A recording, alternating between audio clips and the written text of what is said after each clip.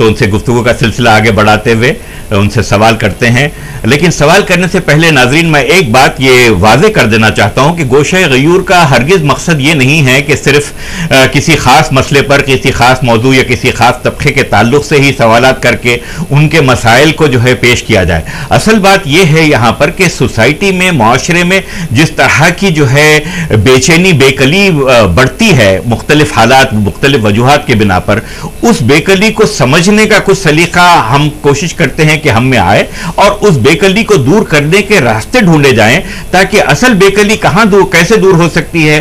कि किसी का हक मारा जाता है, किसी की हक तलफी होती है तो मसला उतना बड़ा नहीं होता। लेकिन मसला बड़ा उस वक्त होता है जब हक तलफी करने, हो चुकने के बावजूद दूसरे लोग ये समझते नहीं कि किसी की हक तलफी हो रही है, कि अगर कोई रो रहा है, कोई चिल्ला रहा है, बच्चा मासूम जो है चीख रहा है, चिल्ला रहा है तो आखिर उसकी वजह क्या है? वजह इसके कि ये समझे कि चीखने चिल्लाने वाले बच्चे की वजह से जो जो सुकून दरहम बरहम हो रहा है, उसके ताल्लुक से गौर करने के बजाय ये देखें कि ये ऐसा अगर हो रहा है तो क्यों हो रहा है? तो इसी गरज से गोशे गयूर में कोशिश ये की जाती है कि ऐसे मसाइल के ताल्लुक से बात हो, जो जिनका किसी सदबाब की तरफ़ कोई कोई राह निकले, कोई कोई रहनुमाई मिले। तो चलिए सैयद अमीन हसन जाफी साहब से जो है एक और दुखते हुए मसले की तरफ़ ले जाते हैं उनको और पूछते हैं कि ये हर बार जाफरी साहब, ईद का खसूस जब मौका आता है, बकरी ईद का ईद अज़ा का जब मौका आता है तो ये सिलसिला चलता है कि भाई ये गाँव कशी जो है चूँकि कानून जुर्म है, इसीलिए गाँव कशी की बिल्कुल इजाज़त नहीं दी जाएगी और अगर ऐसा जो है होना है तो यकीन अगर कानून की खिलाफ वर्जी है तो कानून की पाबंदी भी होनी चाहिए। लेकिन क्या कानून की का एनफोर्समेंट जो है, ईद के वक्त ही किया जाता है, या कानून का एनफोर्समेंट एक year round round the year process को होना चाहिए। और फिर ये कि कानून के एनफोर्समेंट के लिए आप किसको जिम्मेदार कर रहे हैं? आप प्राइवेट इंडिविजुअल्स को क्या ये ज़िम्मेदारी देंगे कि वो कानून को लागू करें?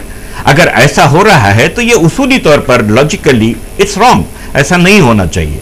तो इस इस सिचुएशन पर, इस अफसोसनाक सूरत हाल पर रोशनी डालिए, क्योंकि यकीनन कोई भी अपनी ईद बनाते हुए किसी दूसरे कौम के लोगों की दिल आज़ारी करना जो है नहीं चाहता, अपनी ईद अपने तरीके से मनाता है, अपने वसाइल अपनी इस्तात अपने लिमिटेड इकोनॉमिक्स फाइनेंशियल मीन्स के हिसाब से मनाना चाहता है। तो उस पैरामीटर के अंदर अगर वो कुछ कर रहा है तो या तो कानूनी तौर पर उसको वो तहफ़ होना चाहिए, या कानून इतना सख्त तौर पर इंप्लीमेंट किया जाना चाहिए कि वैसी कोई सूरत हाल ही ना पैदा हो। तो क्या हालात हैं, क्या होना चाहिए? ज़रा मुफसलन आप पे रोशनी डालें। जी।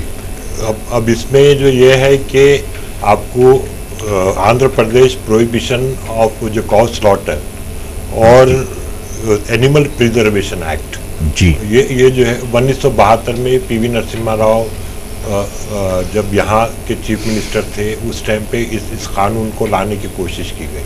और वो जो उन्नीस सौ सतहत्तर में जब जब वो जो इमरजेंसी जो नाफिज थी मुल्क भर में और और यहाँ पर जो जलगांव बेंगल राव यहाँ के चीफ मिनिस्टर थे वो ये कानून को जो असम्बली में पास कराए और ये कानून बना। और जो इससे हटके आपको दूसरे भी कानून है जैसा प्रिवेंशन ऑफ़ जो क्रुएल्टी टू एनिमल्स एक्ट है। जो। जो उन्नीस सौ बहत्तर में पहले उन्नीस सौ बासठ में जो बना फिर उसके बाद बहत्तर में उस उसमें तरमीम की गई। ऐसा इसी तरीके से जो कई कवानीन है जो जो आप आपको जो कॉ स्लॉटर या एनिमल स्लॉटर के बारे में जो है आपको रेस्ट्रिक्शंस जो इम्पोज करते हैं। जी। अब अब आप आप जैसा जो बतला है जी। आपको साल तमाम जी। वो बरस के हर दिन जी। आपको जो है ये ये जो है जो जो जो बड़े जानवर है जी। उसका स्लॉटर जो किया जाता है जी। जो आपके कमेले है जो जो हर शहर में आंध्र प्रदेश के हर शहर में हर हर बड़े टाउन के अंदर जो कस्बे हैं जो जो जो है आपको कमेले हैं वहाँ पर ये ये बड़े जानवरों का स्लॉटर किया जाता है। जी। और इसके साथ साथ जी। आपको जो है तीन चार बड़े कंपनीज़ भी है। जी। जो जो जो है जो जो मॉडर्न एबेटॉयर या आ, जो है ये ये मॉडर्नाइज जो है कमेले टाइप जो। ऑटोमेटिक जी। ऑटोमेटेड जो मैकेनाइज्ड जी। जो मैकेनाइज्ड जो। स्लॉटर हाउसेज जो। रन कर रहे हैं वो लोग जो है एक्सपोर्ट करते हैं। आपको मिडिल ईस्ट को करते हैं जिसमें ईरान को कई अरब ममालिक को वो एक्सपोर्ट करते हैं। तो वहाँ पर भी जो है बड़े जानवर कटता है। जी। इसका स्लॉटर होता है। तो ये हर दिन हो रहा है। जी। अब अब जो है आप जैसा बतलाए ये एक एक ये हो गया है कि जब ये जब भी ईद जुहा या बकरीद जी। जो है करीब आती है। जी। उस टाइम पे ये ये एक एक ऐसा माहौल बनता है कि जो है पहले आपको ये होता है कि कि कुछ कुछ जो राइट विंग जो तंजीम है जी। जि- जिसका ताल्लुक संघ परिवार से है जी। वो वो जो बयानबाजी शुरू करते हैं जी। कि हम जो स्पेशल टीम्स बनाएँगे और हम ये जो है देखे तो जो गौ हत्या होने नहीं देंगे। जी। और हम ऐसा करेंगे वैसा करेंगे। जी। और उसके बाद जो है अब अब के साल एक एक नई चीज़ ये हुई है जी। कि कि कमिश्नर ऑफ़ पुलिस हैदराबाद। जी। वो अ, जो है एक एक मीटिंग के बाद जी। वो एक एक प्रोसीडिंग्स जारी करे। जी। वो जिसके अंदर जो है आप आपको जो कई कई स्पेशल टीमों को तश्किल दी गई।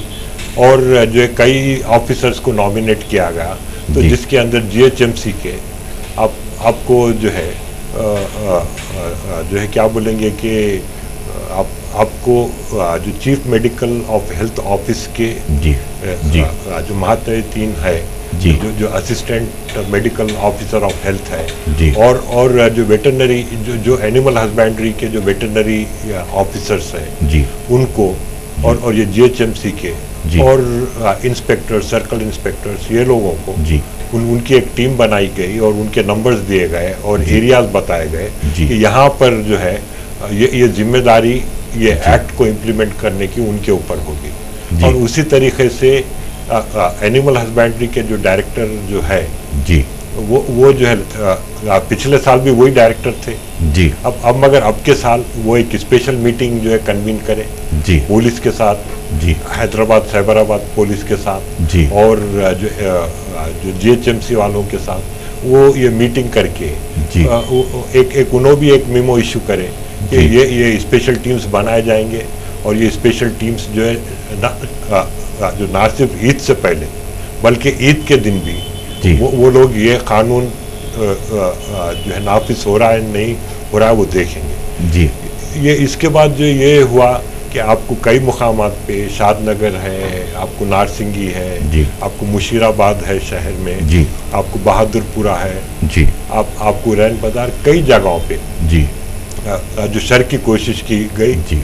जो जो जो संघ परिवार के लोग जी वो टीम्स बना के जी। आपको जो लारियों को जो हाईवेज के ऊपर स्टेट हाईवेज के ऊपर और और जो भी जो हैदराबाद के एंट्री पॉइंट्स है वहाँ पर रोक कर जी। वो वो जो है जी। वो वो अटैक किए फ़िज़िकल अटैक्स करे जी वो वो लाने वालों पर जी उस वो वो गाड़ियों के ड्राइवरों पे लॉरियों के ड्राइवर्स पे जी जो ला रहे हैं उनको जी। उनके पैसे लूट लिए उनके जो है जो जो जो कार्स में कोई आ रहे थे तो गाड़ियाँ जला दिए टू व्हीलर्स जला दिए।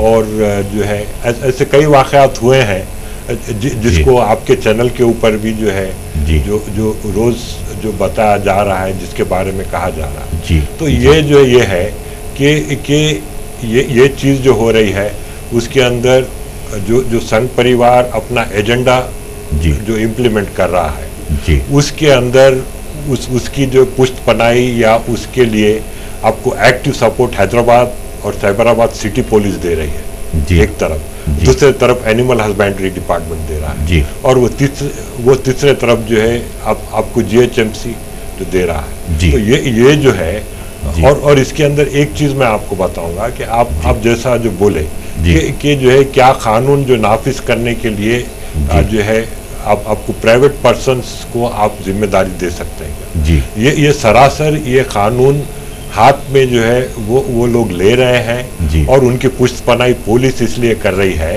कि एक जो 2006 में जी एक एक जो आंध्र प्रदेश गवर्नमेंट से जियो निकाला गया जी। जो जो जियो एमएस नंबर 146 जी जो जो 12 जून जो 2006 को जो इशू किया गया जी वो वो जो है उस टाइम पे प्रिंसिपल सेक्रेटरी होम जी। जो गालिबन एम ए बासित साहब थे अच्छा जी। तो वो उनके टाइम पर वो वो जियो निकाला गया जी। और और वो जियो के तहत जी।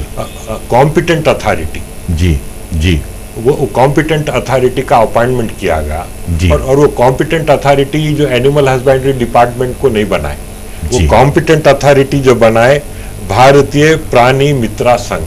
जी जो एक प्राइवेट ऑर्गेनाइजेशन जी। वो वो एनिमल वेलफेयर ऑर्गेनाइजेशन अपने आप को बताता है वो एक ऑर्गेनाइजेशन जी। उसके जिम्मेदारान का संघ परिवार से ताल्लुक है किससे ताल्लुक है वो सबको मालूम है। जी। तो वो वो उस ऑर्गेनाइजेशन को कॉम्पिटेंट अथॉरिटी बनाया जी। गया और उसके मेंबर्स को जी।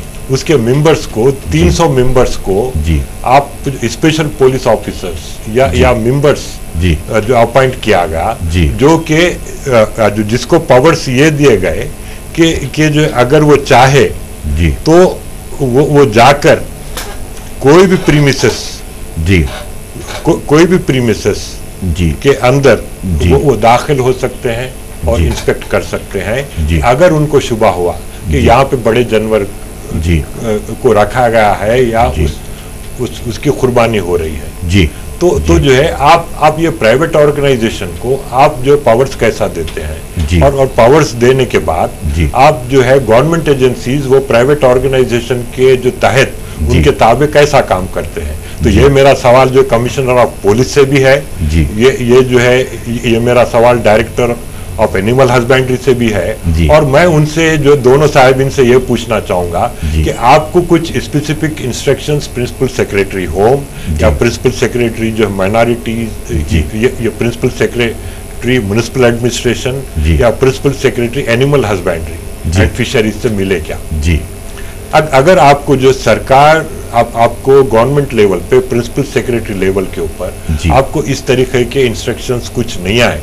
तो आप अपने अप, अपने ओवर एंथुसियाज्म बताते हुए आप ये जो क्यों काम कर रहे हैं? जी। जो जो जो है आप आपको ये ये ये कानून जो 35 साल से है जी। आज नहीं बना। जी। अब अब मगर ऐसा मालूम हो रहा है कि ये जो है आप आप कमिश्नर बनने से पहले या आप जो है डायरेक्टर एनिमल हस्बेंड्री बनने से पहले ही ये कानून बना अबिज बना और आप उसको नापिस करने जा रहे हैं। तो ये ओवर इंथुसियाज्म जी। है इसके वजह से ये ये ये कानून से हमको कुछ एतराज़ नहीं है।